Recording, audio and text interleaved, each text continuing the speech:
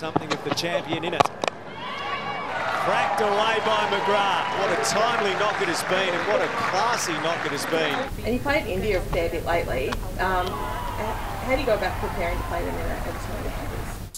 Yeah, we had a fair bit of success against them in the recent India series, but new location, new tournament, so anything can happen, and, and they're a world class side. So we'll do our homework on them, big training tomorrow, and then give ourselves every chance to beat them on Saturday. Yeah, uh, do you expect them to come at you really hard, knowing that they've kind of got their tournament on the line a bit more than you guys do? We sort of expect every team to come pretty hard at us. Pretty aggressive type cricket teams play against us, and that's the way we like it. So we're expecting a big challenge. We're expecting some hard hitting, and of course Goswami with the ball. So expecting a really good game.